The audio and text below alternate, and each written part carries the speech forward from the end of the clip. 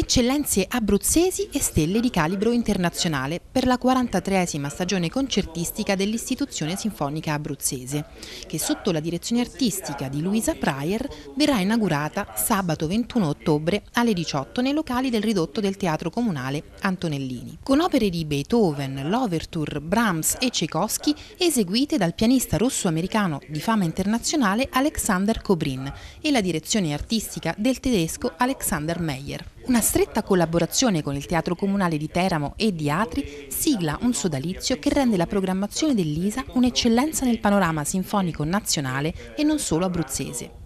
La nostra stagione concertistica porta avanti dei discorsi. Intanto mi piace sottolineare che l'istituzione sinfonica abruzzese garantisce a una vasta area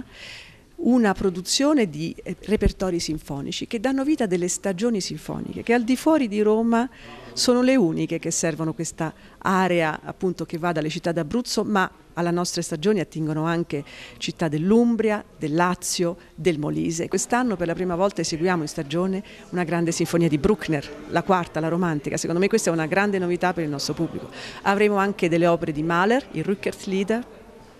Sibelius, ma il nostro repertorio spazia da Pergolesi fino a Duke, Duke Ellington. Una stagione dedicata alla memoria di Ottaviano Ludovico Nardecchia, storico presidente ISA venuto a mancare lo scorso mese di marzo. Ma sì, senz'altro questo è un omaggio che meritava il presidente che è scomparso nel marzo di quest'anno